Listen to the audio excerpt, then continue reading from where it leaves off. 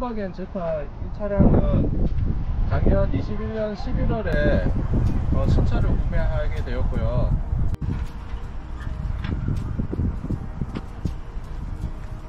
상당히 깔끔하게 생겼습니다. 전체적인 차량 외관은 크롬 도금, 크롬 도금 마감 재질로 되어 있어서 깔끔해 보입니다. 그리고 LED 여기 타이어는 브리지스톤 타이어 있고 어, 디스크 브레이크도 큼지막해서 제동 능력 또한 상당히 좋아 보입니다. 그리고 옆 측면 라인은 선이 예쁘게 라인으로 들어가 있습니다. 트렁크는 생각보다 상당히 넓어서 많은 물건을 적재할 수 있고 여기 스프링 방식으로 되어 있습니다. 근데 여기서 마감 재질이 그냥 나사가 보이는 재질이라서 그렇게 퀄리티는 있어 보이진 않는데 뭐 쓰는 데는 무리 없이 편리하게 사용할 수 있습니다. 백미러 라이트 들어오게 되어 있습니다. 내부를 한번 살펴보겠습니다. 네, 시동을 한번 켜보겠습니다. 그럼 계기판은 LED로 되어 있는데 바늘 표시로 이렇게 표시되고 있습니다. 그리고 여기 A 온오프는 요거를 버튼을 한번 누르면은 어, 차량이 정차 시 엔진이 자동으로 꺼지는 기능이고 요거를 끄면은 예, 운전자가 수동으로 조작하는 시스템입니다. 그리고 여기 차량 블랙박스가 탑재되어 있고요. 썬루프 썬루프 있는데 햇빛이 좀 많이 들어올 것 같아서 검은색으로 좀 썬팅을 하였습니다 예, 썬루프 있고요.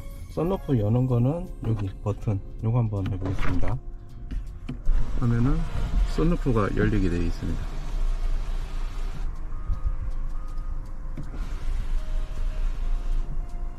이렇게 열리게 되어 있고요. 개방감 있습니다. 썬루프를 닫을 시에는 요거를 다시 밑으로 내리면은 제끼면은 썬루프가 닫히게 됩니다. 썬루프를 닫고 수동으로 요 문을 차단막을 내리면 되겠습니다. 슬라이딩을 열면은 자동으로 돌리더랍니다. 이거는 참 편리한 기능이네요. 네, 정홍의 자동차라고 되어 있네요. 운전석은 전동 시트로 되어 있습니다. 이렇게 하면은 앞뒤로 되고 요거 높낮이 조절되고 요거 세트 1, 2, 3이 있는데 세트 1, 2, 3은 뭐 운전자가 3명이서 운전을 할 시 첫 번째 사람, 두 번째 사람, 세 번째 사람 이렇게 세팅해 놓고 자기 신체 사이즈에 맞게 이렇게 번호를 눌러서 운전을 편리하게 할 수 있겠습니다. 그리고 여기 버튼 창문 버튼이 이렇게 있고요. 여기 트렁크 버튼. 그리고 요 하단에 있는 거 요거는 어, LED 라이트 설정입니다. 보통은 차량에 요 요쪽 라인에 라이트 조절이 있는데 요거는 약간 이전 수동 방식 비슷하게 요 하단에 배치되어 있고요. 오토는 오토로 설정하면은 저녁이 되거나 어둡게 되면 자동으로 불이 켜지는 기능입니다. 그리고 여기 제가 하나 좀 특징적으로 기존 차량과는 좀 다르게 특징적인 것 같아 보이는 게 어, 보통 차량 나갈 때는 나가는 손잡이가 문 여는 손잡이가 여기 달려 있는데 어, 여기는 좀 높게 달려 있고 문 열, 그 잠금 장치도 어, 이쪽에 있어서 개인적으로는 조금 불편하지 않나 싶습니다. 이거 운, 엔진이 켜진 상태에서 문이 열리면은 경고등이 뜨고요. 이렇게 엔진 작동 중이라고 문 열면 위험하다고 이렇게 표시가 나옵니다. LED 디스플레이도 큼지막하게 돼 있고 디자인은 전체적으로 깔끔하게 선이 굵은 디자인으로 이렇게 되어 있네요. 약간 옛날 스타일 같기도 합니다. 버튼도 손으로 누를 수 있게 이렇게 되어 있고요.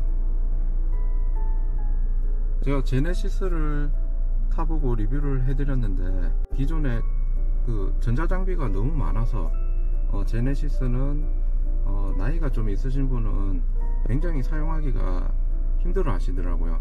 물론 전, 전자로 돼 있는 거는 한번 사용하는 방법을 알면은 편리하게 사용할 수 있으나 어 요거 옛날 방식에 그냥 손으로 바로 눌러서 터치해서 조절하는 방식도 개인에 따라서는 굉장히 큰 장점이 될 수도 있습니다.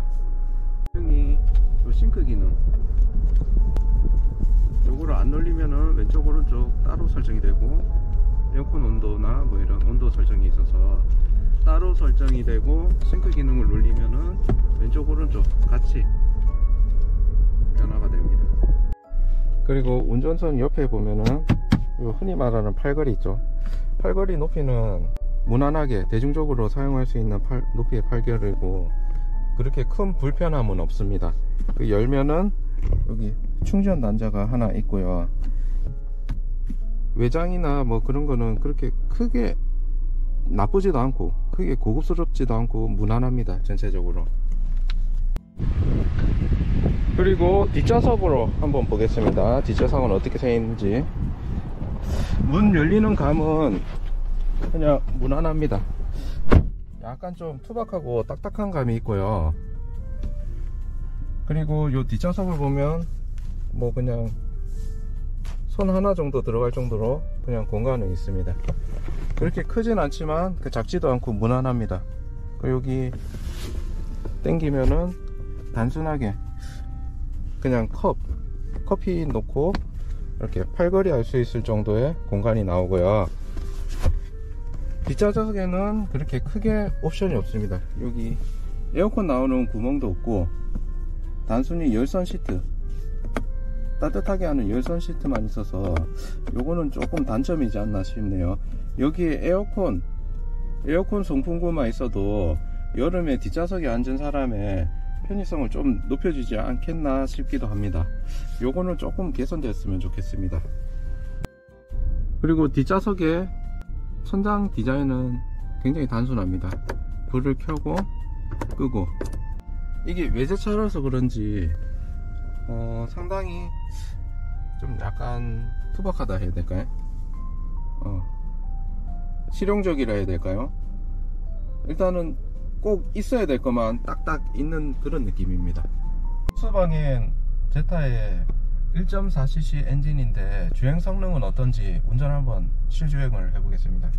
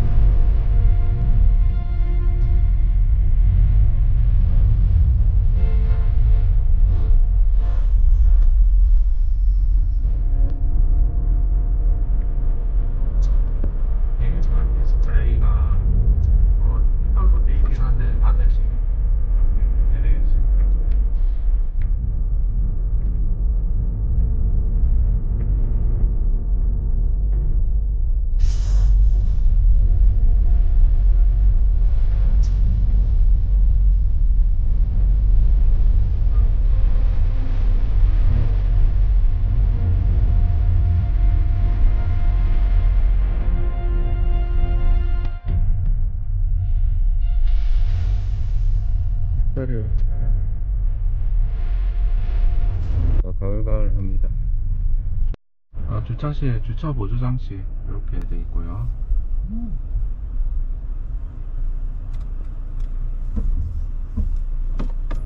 우선 시내 주행을 한번 해보았는데요. 어, 평균 연료 소비량은 시내 주행 시 13.5 이렇게 측정이 되었고요. 오늘 소개해드리는 폭스바겐 제타 작년 11월 달에 이렇게 구매를 하였고요. 어, 최고 옵션으로 구매를 하였습니다. 구매가는 총 한 3천만원 정도 가량 들었습니다. 그 전체적으로 사용감도 좋고 굉장히 만족스럽습니다. 매우 추천하는 바입니다. 그냥 캐주얼하게 뭐 우리나라 등급으로 보면은 아반떼급 아반떼 사는 가격에 어, 외제차를 살 수 있는 장점이 있고요. 그리고 1.4 리터라서 세금도 저렴하고 저공해 인증을 받았기 때문에 어, 주차료, 감면 등 다양한 혜택이 있습니다. 그리고 힘도 부족하지 않고 공간도 굉장히 상당히 넓습니다. 쾌적하게 운전할 수도 있고요. 어, 그래서 폭스바겐 제타 한번 타보실 분 강력하게 추천드립니다. 오늘 이것으로 리뷰를 마치겠습니다. 감사합니다.